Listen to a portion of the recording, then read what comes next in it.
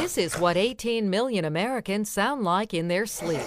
They are sufferers of obstructive sleep apnea, and the sounds they make signal a condition in which their breathing repeatedly stops for seconds at a time and leaves them gasping for breath. Obstructive sleep apnea patients, who are often men over age 40, usually are not aware they have this condition unless someone has told them. If you witness someone having difficulty breathing at night because of snoring, or trouble with their breathing at all during sleep, uh, you should suggest that they visit their doctor. Uh, there are many ways to help people with sleep apnea get a good night's sleep. Left untreated, the disorder leaves patients tired during the day and a potential risk to themselves and others. Many studies have established that fatigue can increase the likelihood of motor vehicle accidents. For patients with sleep apnea who are heading into surgery, it is critical to communicate openly with your medical treatment team about the disorder. Your anesthesiologist needs to know if you have sleep apnea uh, because all anesthetic agents, be they sedatives, muscle relaxants, or gaseous anesthetic agents, can cause the upper airway muscles to relax.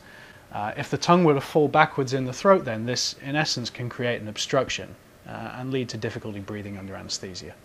Patients with a severe form of the condition may be sent to the hospital's intensive care unit following surgery so they can be closely monitored for an additional period. The patient will be released once the anesthesiologist determines he or she can safely breathe on their own. Anesthesiologists emphasize that the first step in avoiding complications during and after surgery is for patients to tell their doctors about their sleep habits and snoring in advance. We want to avoid a situation where we're surprised that a patient has obstructive sleep apnea.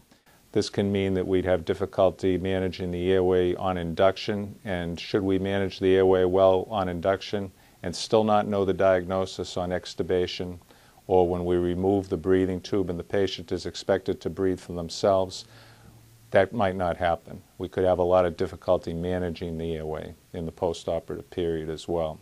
Doctors may treat this condition by prescribing constant positive airway pressure machines at night, oral appliances, surgery or lifestyle changes, including diet and exercise. For a number of sufferers, the cure is as simple as losing weight since obesity is a leading contributor to obstructive sleep apnea. Talk to your doctor if you suspect you or a loved one has sleep apnea.